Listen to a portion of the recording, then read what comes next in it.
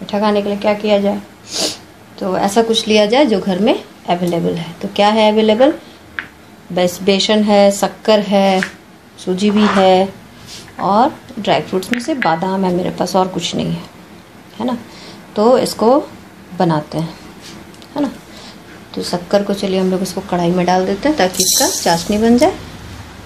Gas को on कर दिए इसमें एक कटोरी पानी दूँगी, जिससे ये शक्कर पूरा इसमें डूब जाए।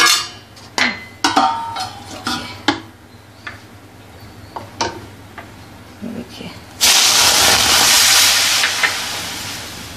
पूरा इसमें मेल्ट हो जाएगा। और घी का मात्रा मैं आपको बाद में बताऊँगी, क्योंकि लॉकडाउन में उतना घर में सामान नहीं रहता तो मैं कम सामान में ही आपको लड्डू बना के दिखाती हूँ। ये देखिए, ऐसे चीनी इसमें घुल जाएगा। और थोड़ा इसको गाढ़ा करूँगी, फिर गैस को बंद कर दूँगी। ये देखिए। थोड़ा सा मेहनत है, बाकी अपने आप हो जाएगा। ये देखिए, जब ये ऐसा गाढ़ा हो जाए, तब आप गैस को बंद कर दीजिए और इसको ठंडा होते तक ऐसे चलाते रहिए। फिर ये एकदम भुरभुरा हो जाएगा। फिर उसको बेसन में हम लोग मिला देंगे। ये देखिए देखिए इसको ऐसे। ये देखिए, यहाँ से जब ये गिरता है, ये देखिए। एक मोटा मोटा धार गिर रहा है। इसका मतलब ये हो गया है। देखिए। ये देखिए। देखिए मेरा कढ़ाई देखिए, गरम हो गया है। गरम कढ़ाई में धीरे आँच पे, एकदम सिम में ना? आप इसको बेसन को भूनिए, बिना घी के। ना देखिए मैं बेसन डाल दी हूँ इसमें।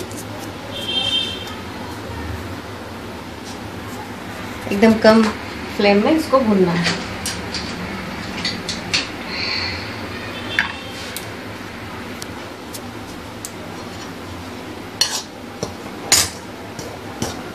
धीरे धीरे इसको भूनना है, जिसमें गुटली वुटली जो भी हो, वो नहीं पड़ेगा। क्या है ना, घी दे देने से।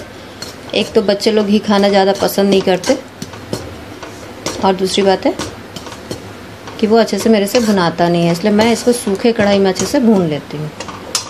इसी में फिर मैं इसको, सूजी को भी डाल दूँगी। बेसन में, मुझे एक कटोरी में सूजी रखी है। इसको देने से क्या होता है, बेसन मुँह में चिपकता नहीं है।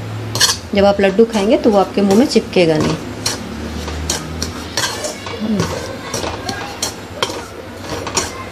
इसको मैं धीरे धीरे लाल करके भूनूँगी।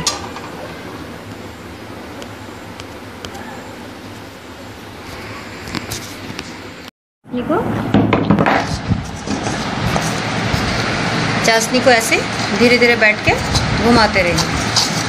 देखिए, उसके बाद ये ठंडा होके ऐसा हो जाएगा। भुरभुरा देखिए। अब इसको मैं उसमें मिला दूँगी। बेसन को जो भूनूँगी, उसमें इसको मिला दूँगी।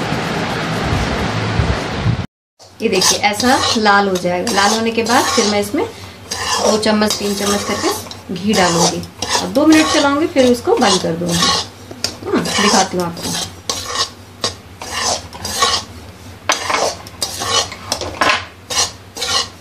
ये देखिए।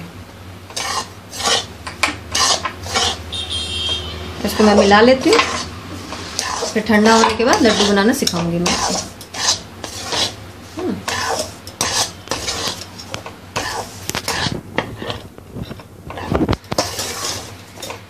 होगा ना?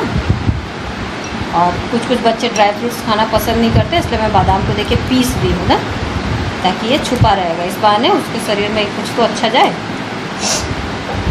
और ये शक्कर जो मैं दिखाई थी आपको, ये ऐसा होगा। ये देखिए, ऐसा। अब इसको मैं इसमें मिला।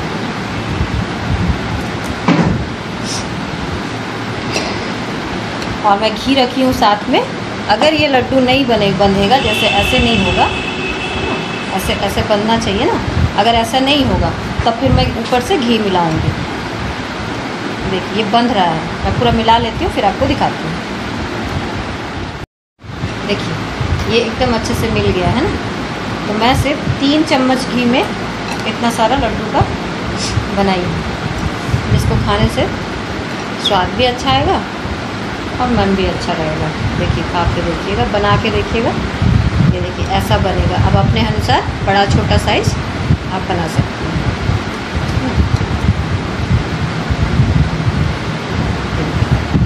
ये लड्डू। इसे इसमें बना कर